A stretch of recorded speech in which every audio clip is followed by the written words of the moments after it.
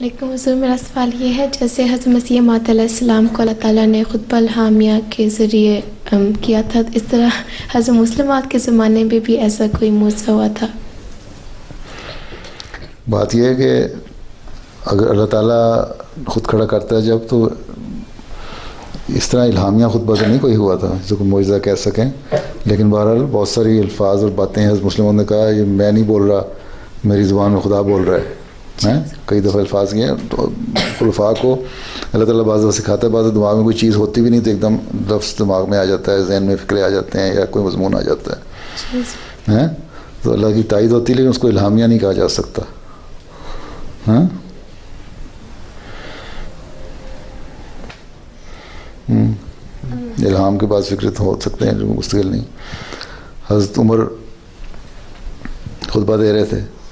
या जंग में उस खुतबा देते थे कहा का सारिया पहाड़ की तरफ़ पीछे चले जाओ हुँ? हम्म? और वहाँ उन्होंने वो देख ली तो उनको भी लाम हो गया, इनको भी लाम हुआ तो उन्होंने पूछा, क्या कि मैंने जंग का नज़ारा देखा था और दुश्मन का हमला इस तरह हो रहा था तो मैंने सारी कहा कि पहाड़ की तरफ़ चले जाओ हुँ? हम्म? तो वो बात तो उन्होंने सुनी, वो तो इलामी कैफियत तो तारी हो सकती, लेकिन पूरी कहना कि मुकम्मल तौर पे नहीं, लेकिन उससे ताल्लुक़ नहीं था उस खुतबे से वो एक और वाक़े से ताल्लुक़ था जो खुतबे के दौरान हो गया।